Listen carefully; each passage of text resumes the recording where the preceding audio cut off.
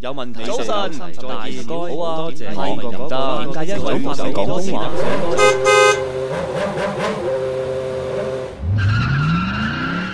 Hello everyone and welcome to Cantonese in one minute. This time we have to see two words in four characters, which are 你好 and 再见. I repeat them again.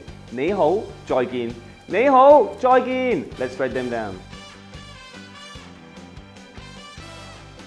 你 you 好 good 再 again 见 to see 你好再见你好 hello 再见 goodbye 你好再见 the basic of the basic so let's see them in an example Hi 你好你好，再见再见。你好再见 that's the end for now so don't forget those two words it's the basic of the basic 你好 hello and 再见 goodbye but if you want to be a real local you just have to say bye bye